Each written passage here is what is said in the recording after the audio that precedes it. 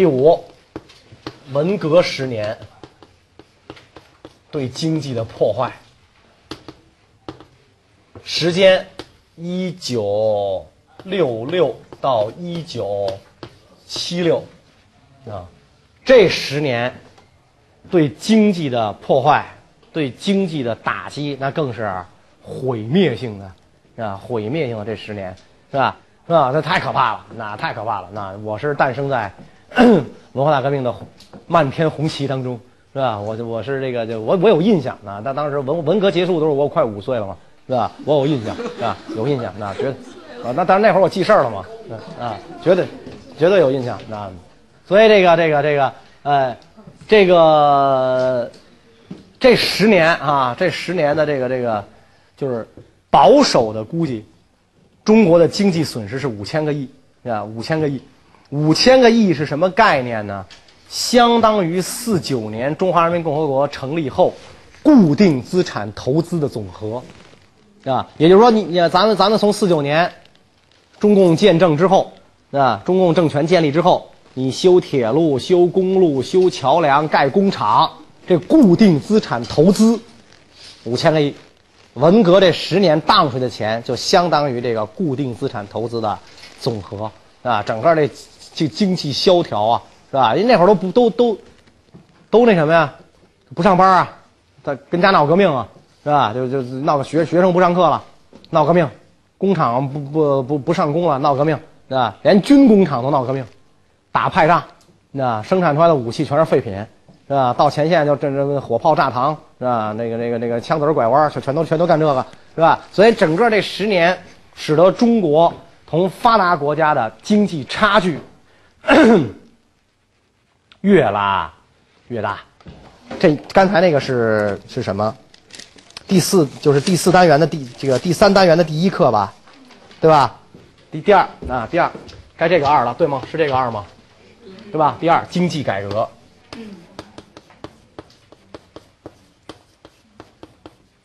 小平同志啊，吹响了经济改革的号角。那经济改革，那么这个经济改革啊，首先是从什么领域开始的呢？啊？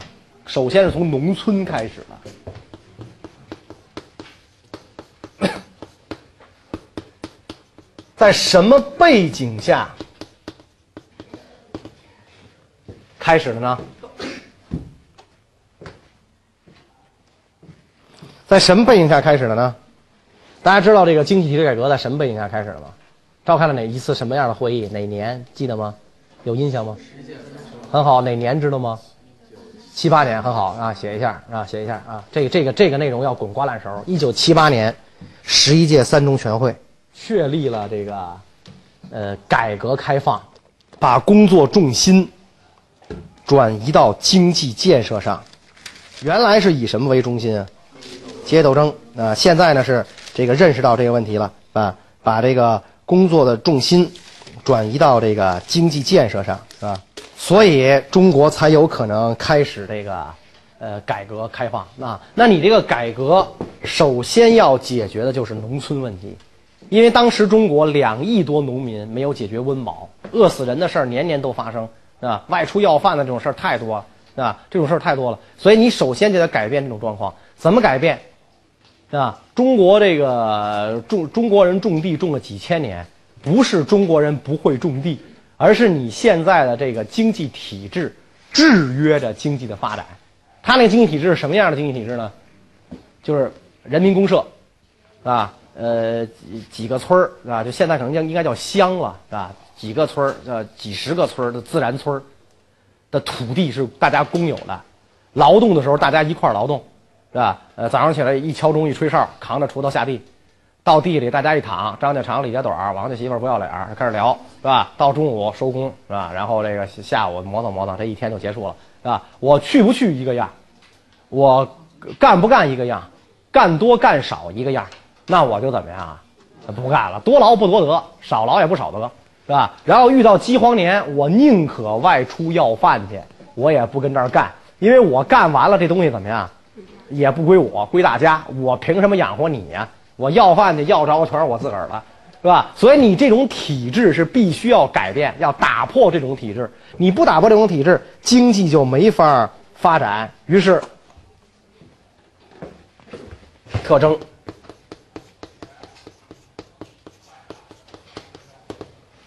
改变了啊，这个体制改变了，开始实行什么？哎，家庭联产承包责任制是吧？开始实行家庭联产承包责任制，旧的体制被打破了啊！家庭联产承包责任制，土地还是谁的？呃，就是集体的啊，就是咱们乡公有集体的，但是，呃，分到个人手里，一块一块的分到个人手里，分的是什么权？使用权不是所有权，是吧？哎，这个土地归你常年使用啊，给了使用权，不是所有权啊。这个给了你使用权之后呢，你啊，它起了一个什么作用呢？就是农民啊获得了哎生产经营的自主权，积极性就怎么样提高了啊？我想种什么就种什么，除了鸦片，是吧？这个这个。呃，什么挣钱我挣什么，市场上什么卖得动我挣什么，我我我我种什么，当然这个生产积极性就怎么样，提高了，是吧？然后这个，呃，多劳多得，少劳少得，是吧？交够国家的留足集体的，剩下全是自己的，对吧？就就就这么这么这么来发展嘛，那这么来发展，所以生产积极性它就提高了，那提高了。呃，另外呢，就是说在当时啊，强调了一个什么呢？乡镇企业就发展起来了。是吧？中国，呃，近代啊，从农业社会向工业社会过渡，从专制社会向民主社会过渡，是吧？从农业社会过渡到工业社会，这是必然的趋势。但是你怎么样算是你的工业社会确立呢？这个工业人口要超过城市人口，要超过农村人口。工业产值要超过农业产值，农业产值在国民经济中的比例要低于百分之十五。咱们现在工业产值超过农业产值是没问题了，但是农村人口仍然多于城市人口。预计咱们到二零四五年才能完成城市化，英国是一八五二年完成的，比我们早了一百九十三年，是吧？我们要到二零四五年才能完成城市化。北京现在什么样，你已经看见了。如果完成城市化，就是农村人都进北京来，那么北京还能待吗？对吧？现在都已经这样。如果说到那个时候，那那那个楼就得一百层，啊，居民楼一千层，天天停电，是吧？下楼跳伞，是吧？上楼家里窗户外面弄一筐，你还别晕车，还是吧？啊，你你你爸给你蹬上了，那那这样是吧？公共汽车得六层吧？是吧？得六层吧，双层不够了吧？六层都不能拐弯，一拐弯不翻了？你想想，对吧？只能直行，只能直行，是吧？要你说我想去那边下来倒车，是吧？倒车你下不来呀，那里边的人多的，是吧？那会儿甭说五环六环，二十七环都堵，是吧？二十七环都堵，是吧？从海淀去朝阳得绕石家庄，是吧？所以你想啊，是吧？那你不能把人都淤到城里来啊？怎么办啊？怎么办啊？计划生育也没用。是吧？计划生育也没用，是吧？就你只能让农村就地消化农民，把农村变成什么？城市啊，就变成城市。现在中国就是，现在中国最可怕的这地方就在这儿，就就人都往大城市里涌，就拉美化了，拉美化了，最可怕，贫富分化越来越悬殊，是吧？城市像欧洲，农村像非洲，然后这个这个这个这个呃城这个什么人都往城里涌，然后城里就越来越乱。拉丁美洲就这样嘛。哎，咱们现在要解决就是这，你你你要发展乡镇企业，你乡镇企业发展起来，它才能由农民变成啊工人。农民要脱贫，不能种地，除非种鸦片烟。那麦子能卖多少钱？你农产品能卖多少钱？必须得发展。我上大学的时候，天津有一个大邱庄，四千多人，年产值四十个亿，九几年四十个亿啊。我记得崇文区是三个亿，人一村儿四十个亿，能是种地吗？你想想，后来不宣传它了，因为那个庄主非法拘禁他人致死出事儿了，是吧？四十个亿那一村儿，整个那一村儿八个大学生种地，种全村的地，就八个大学生，别人都不种地，做买卖，是吧？你看咱，你看就是说现在不宣传它了，就老宣传那什么华西村啊什么的，都是好几十个亿啊，那一个村它能是种地吗？北京有一个韩村河，听说过吗？能是种地吗？都去过吧，是吧？韩建集团人家干嘛的？盖楼的，现在是各方面都发展起来了，对吧？什么餐饮、旅游、观光、生态，对吧？所以他就要发展乡镇企业，让农民离土不离乡，是吧？离土不离乡。你如果这个离土离乡，那城城市就该爆炸了，啊，就该爆炸。咱中国你再怎么计划生育，你基数在这儿摆着呢，而且现来现在这个政策是越来越。最起码它不严禁了，它迟进了，是吧？睁一眼闭一眼的事儿越来越多，因为独生独生子子女政策确实有很多这个弊端。你比如说，万一真打起仗来怎么办？我就这一个儿子战死了，为国捐躯了，我怎么办？我们二老靠谁去？是吧？你说这一个孩子的话，你要养多少个老人啊？是吧？父母、岳父、岳母，对吧？你你四个老人，俩俩人养养得过来吗？是吧？所以他这确实有问题，是吧？确实有问题，但是你。你不坚持又不行，是吧？咱现在这么控制，还一年八百万呢，是吧？所以，所以说他这要要解决，就是解决什么呢？你你这个农村的人口就地消化的问题。你看咱们中国七八年，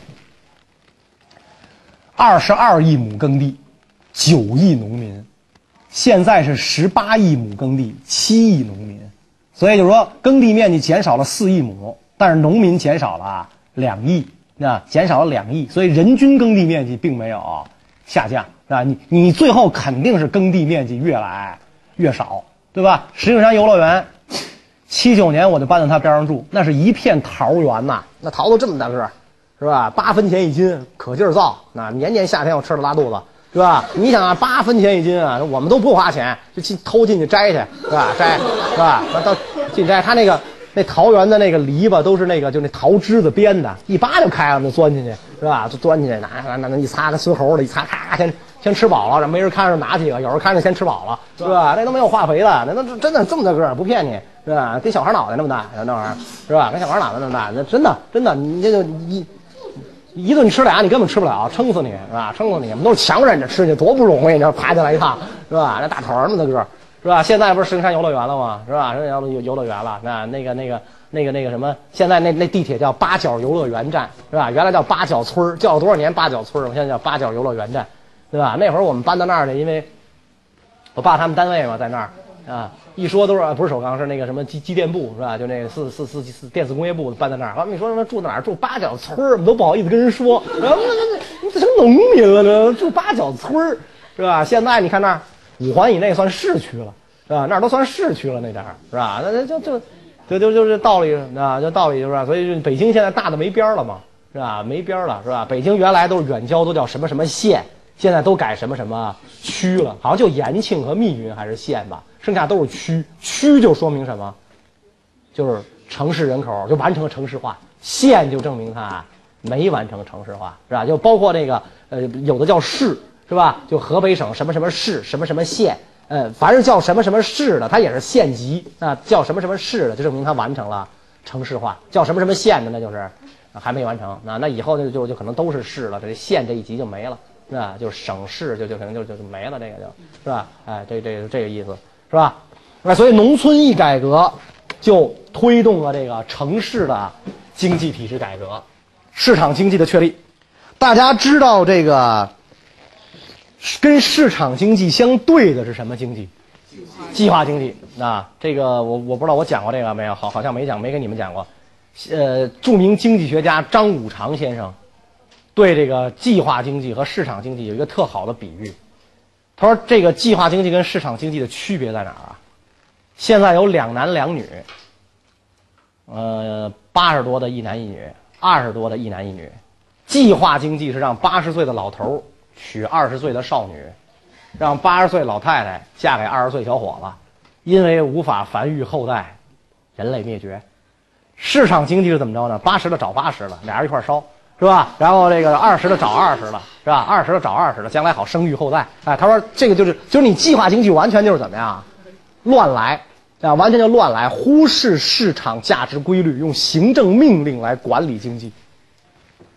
北京市。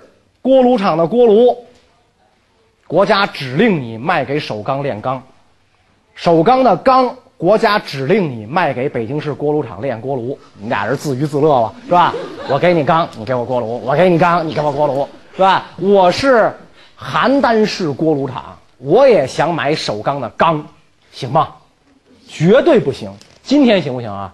太行了，你索马里锅炉厂都没关系，你只要给钱，对吧？你只要给钱，当时不行，国家没计划把首钢的钢卖给你，你买不着，是吧？我这钢成本一千块钱一吨，国家计划你卖给锅炉厂三百块钱一吨，是吧？我这锅炉出厂价二十万，国家计划你卖给他五万，差价怎么办？国家补，国家就把钱从这兜掏出来，搁这兜里呗，无所谓。国家补，哇，那你作为一个厂长，你不是感到很幸福吗？我这个产品质量用管吗？不用管吧，是吧？人家锅炉裂了，因为你首钢的钢不好，甭废话，因为你给你给我锅炉不好，是吧？你给我的锅炉不好，我炼的钢就这样；我炼的钢不好，你给我的锅炉就这样，对吧？呃，质量你不用管吗？市场你用管吗？你不用管，你不用为它的销路发愁。再烂的东西，它也接着，对吧？因为国家制计划，你必须给我必须买，是吧？你什么都不用管，那厂长好当不好当？我就关心一下我们单位的幼儿园办的怎么样啊？小朋友吃的好不好啊？是吧？谁家娶媳妇了？我去蹭个喜烟啊？谁家死人了？我去鞠个躬啊？到红五月咱比赛一下吧，是吧？所以人外国人那会儿来中国一看，嚯，你们厂长干的是市长的事儿。市长干的是厂长的事儿，是吧？市长整天发愁，哎呦，我们这市经济怎么怎么怎么，整天发愁，是吧？厂长干的是市长的事儿，是吧？国外市长都是，尤其那小城市市长，好多都是兼职，因为他市长就是管什么呀？文教卫生啊，福利啊，就这些事儿，是吧？经济他不管，咱这完全蛮拧，是吧？完全蛮拧，对。所以你想，这计划经济他能搞得好吗？所以他们就举了一个例子，我忘了，这具体的我更忘了。沈阳俩工厂，一墙之隔，就隔了一堵墙。一个生产光缆，一个生产铜材。这电线外边得包铜啊，对吧？哎，咱俩就隔了一堵墙，我把墙扒开，你把铜给我运过来就完了吗？不成，这个铜要先运到云南去，因为中国的这个铜业集团在云南，你得把把铜生产出来之后交给你的上级公司，你上级公司呢在在云南，然后你要生产电缆需要铜，你跟云南申请，再把这个你的邻居炼的铜从云南拉回来。这个经济多伟大，是吧？啊，你胡来，所以咱一看，得得搞什么经济？市场经济不能这么胡来。你这样，你你你一切按商品价值规律办事儿，是吧？你哪能这么胡来？所以开始搞市场经济，第一步。